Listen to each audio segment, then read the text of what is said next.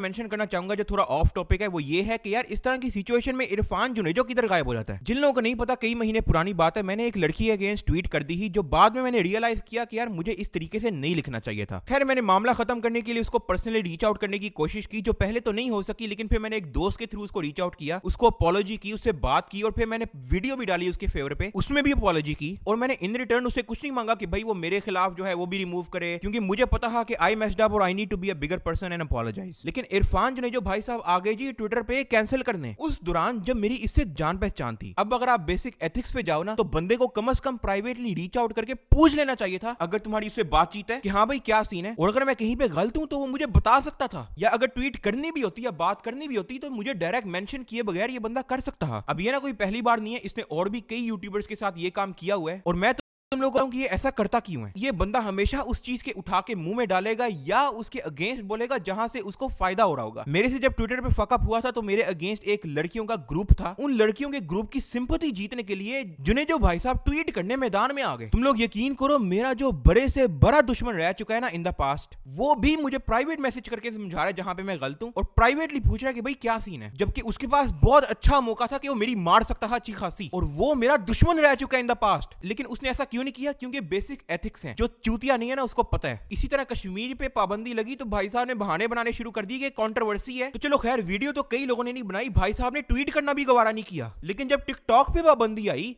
तो टिकटॉकर्स के उठा के मुँह में डालने शुरू कर दी कि शायद आने वाले दिनों में टिकटॉकर मुझे अपना मामू कबूल कर लें। क्योंकि यूट्यूबर्स में तो सारों ने इसको बाइकआउट किया हुआ है, जैसी इसकी हरकतें हैं। ना इसको कोई मुँह लगाता है। अब तुम लोग को याद होगा, भाई साहब की स्टेटमेंट थी कि यार मैं इस तरह के टॉपिक पे इसलिए नहीं बात करता क्योंकि किसी का ओपिनियन चेंज नहीं होता। तो इसलिए पॉलिटिक्स और रिलीजन वाले टॉपिक्स पे मैं बात नहीं करता। I will not make a video on Kashmir क्योंकि मैंने अपनी ज़िंदगी में पहले रिलीजियस और पॉलिटिकल टॉपिक्स पे वीडियो बनाने की गलती की जो ठीक है मेक सेंस लेकिन मुझे ये बताओ कि वो सारे क्रिटिसिज्म वर्दी टिकटॉकर जिसको आज तक इस भाई साहब ने मेंशन नहीं किया, जो टिकटॉकर एक आम लड़की जो उसकी फ़ैन है, उसको लाइव स्ट्रीम पे आके काली बोल रहा है, उसका पॉलिटिक्स और रिलीजन से क्या ताल्लुक है? या वो जो मोटरवे वाला इंसिडेंट हुआ था, उसमें पॉलिटिक्स और रिलीजन का क्या ताल्लुक है? या उस पर तूने किसी का ओपिनियन कैसे चेंज करना है? या तो होना कि कोई ऐसा चूतिया हो जो रेपिस्ट को सपोर्ट करता हो? लेकिन नहीं, भाई साहब उस बारे में बात इसलिए नहीं करेंगे क्योंकि उसके अंदर कोई यूट्यूबर ना कैंसिल नहीं हो रहा। उसमें किसी यूट्यूबर को गिराने का मौका नहीं मिल रहा सोशल मीडिया पे कवरेज नहीं आएगी तो इसलिए फ़ायदा नहीं है। अब हो सकता है कि कुछ लोग कहेंगे उसने इसलिए ट्वीट की थी क्योंकि आप पब्लिकली दोस्त थे उसके साथ उसने डिसएसोसिएट करना था। तो यार मुझे बताओ, मैंने कब पब्लिकली क्लेम किया कि वो मेरा दोस्त है? सिर्फ़ इसलिए कि कोई एक दूसरे को ट्विटर पे फॉलो करते हो तो इससे कोई दोस्त नहीं हो जाता। डिसएसोसिएट तो भाई साहब ऐसे कह रहे हैं जैसे मेरी रोज गप्पे लगती है ना, रोज कोलैब आता है इनके साथ। मैंने आज तक इसको अपने चैनल पे फ़िल्म करके नहीं डाला, उल्टा ये ज़रूर करता रहा। वो भी विदाउट प्रॉपर कॉन्सेंट कैमरा घुसाया था मुँह पे। हाँ प्राइवेटली हमारी बातचीत ज़रूर थी और एक कॉन्टेक्ट ज़रूर था, जहाँ इसकी कंट्रोवर्सी चल रही थी, सारा पाकिस्तान इसकी बंद ले रहा कश्मीर वाले इशू में। सब्सक्राइबर लूज कर रहा डिसलाइक्स आ रहे तब मैंने इसको प्राइवेटली इसका जितना साथ दिया, मुझे नहीं लगता किसी यूट्यूबर ने दिया उन्हें। तो मैंने भी इसे सेम एक्सपेक्ट किया है, लेकिन वही बात है बेसिक एथिक्स ही नहीं है। इंटरनेट पे आके अपने आप को नवाब शरीफ दिखा देना, लेकिन पीठ पीछे सब यूट्यूबर्स की बुराइयाँ ब्रांड एजेंसीज के पास जाके भी सारे यूट्यूबर्स की बुराइयाँ, जिसका मेरे पास एक एक सबूत पड़ा हुआ है बाय द वे बट मैं यहाँ पे सिर्फ़ अपना पार्ट क्लियर करने आया हूँ, जो इसने ट्वीट किया मेरे अगेंस्ट इरफान जो ने, जो भाई साहब ने अपनी रीजन दे दी थी कि वो एसोसिएट क्यों नहीं करना चाहते मेरे से? तो ये थी मेरी रीजन जो कि है डबल स्टैंडर्ड्स और मुनाफकत। अब हो गया हिसाब बराबर। वापस बात करते हैं।